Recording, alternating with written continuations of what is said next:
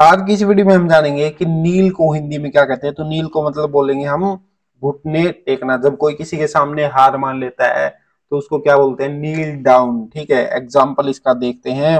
He kneel down to pray उसने प्रार्थना करने के लिए घुटने टेके। कैसे भी हो सकता है कोई किसी के आगे हार मान लेता है या फिर प्रार्थना करता है सरेंडर करता है तो उसको हम क्या बोलेंगे? नील यानी कि घुटने टेकना। ऐसी वीडियो अगर आप डेली देखना चाहते हो तो आप हमारे चैनल को सब्सक्राइब करें वीडियो को लाइक करें, क्योंकि ऐसी वीडियोस हम डेली अपने चैनल के ऊपर अपलोड करते हैं। Thank you for watching please subscribe to our channel